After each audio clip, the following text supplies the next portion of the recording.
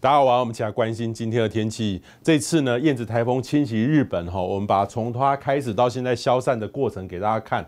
其实它这个呢，曾经是这个今年最强的台风，不过登陆日本的时候是中度台风等级。那它的中心呢是在这个四国跟近畿之间，也就是说，各位看看到很多的灾情在大阪，不是只有大阪啊，很多地方都有些灾情。现在来看的话，已经明显消散了哈。为什么会那么大？其实呢，它是一个中度台风，在台湾常常会会看得到。但是呢，因为日本呢这个地方，其实呃，它登陆的四国跟近畿的地方没有什么太多的山，所以风速就特别大。加上风暴潮哈，这个台风呢把海水这个吸高起来，加上这个风往内陆推，所以这个地方呢从这个地方登陆，所以这个地方风浪就特别的大。所以各位可以看。这个呢，就是大阪的关西机场哦，它是填海造地的。其实，在造的时候呢，在三十年前，其实呃还没有全球暖化什么概念，也不知道海平面会升高，也不知道还有这种风暴潮哦，让这个海水的像这个海啸一样这么高的浪把整个都淹没了哈。所以现在来看的话，压力还蛮大的哦。希望日本一切平安。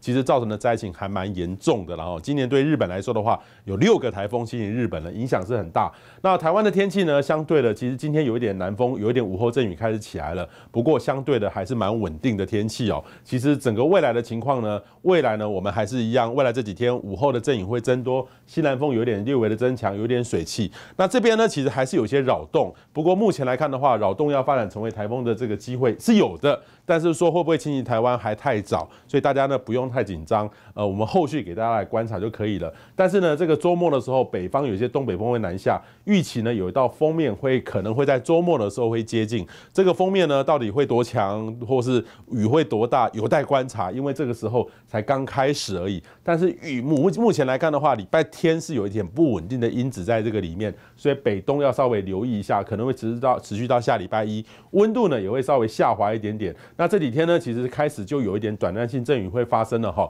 所以这个五六日呢，可能要留意一下，可能有封面会接近哦，可能特别是在周末的时候。那礼拜三晚上呢，各地天气大致上还是不错的，南部有一些偶阵雨发生，各地的温度还算还舒服。明天白天呢，其实也差不多哈，各位可以看台北又站上三十五度的高温了，还是热哦。虽然进入秋天了，可是问题是说到了这个周末的时候，可能会拉到二十三四度左右的温度，要稍微留意一下北部跟东北部的低温。